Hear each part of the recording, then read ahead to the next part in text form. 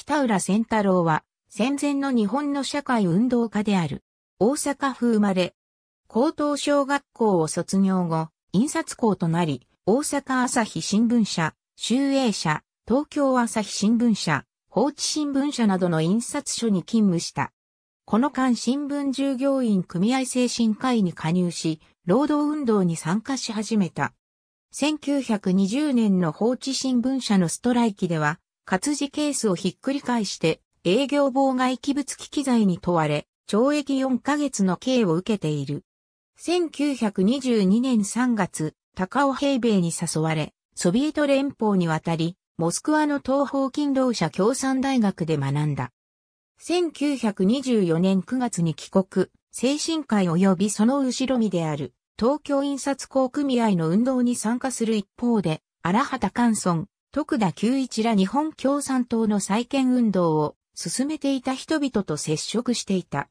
1925年3月には、荒畑の依頼で、上海に渡り、コミンテルン極東部との連絡に当たった。帰国後間もなく徳田久一の家に同居、同年6月末頃ビューローに加入し党再建に参画。青年運動を担当、日本共産青年同盟の再建にあたり、その代表を務めた。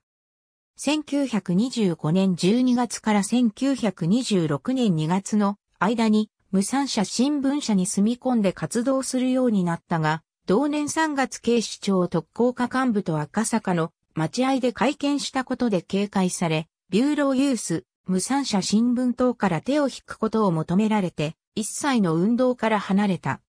しかし5月には市川昭一らから許されて活動に復帰、入国した市川の公認として8月から無産社新聞の主筆代理を務めた。この間、日本共産党再建の任務を帯びて来日していたコミンテルン日本駐在代表で在日ソ連大使官人のカール・ヤンソンと常に連絡を保っていた。同誌1926年12月4日号に執筆した論説記事が周囲から厳しく批判されたことで、党幹部と対立し、脱党を宣言、無産社新聞社を辞職したが、党の方針に反する論説を発表したこと、ヤンソンとの関係を漏らしたことなどを理由として、1927年に党を除名された。その後雑誌、労農総監に参加。1928年3.15事件で検挙された。